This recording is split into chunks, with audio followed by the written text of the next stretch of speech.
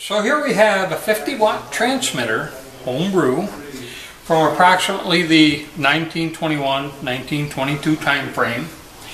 We have our 50 watt tube here, and it has a mechanical modulator for modulated CW.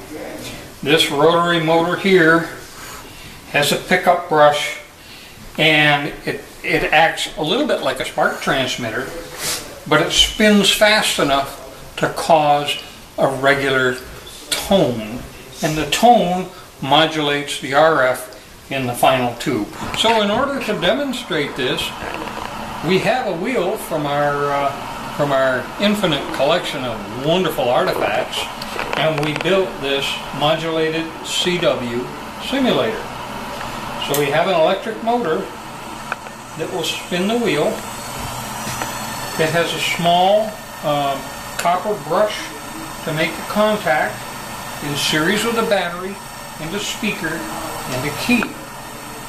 So we turn this on and this is what modulated mechanical CW sounds like.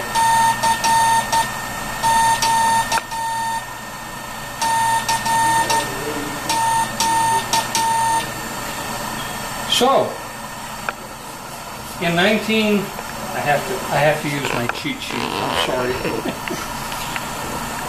Well, it doesn't give me the year, but modulated CW is no longer allowed on the lower HF frequencies in the United States. It is allowed above 50 megahertz, uh, but it has to stay out of the bottom portion of the CW bands because it, it takes up way too much um, bandwidth.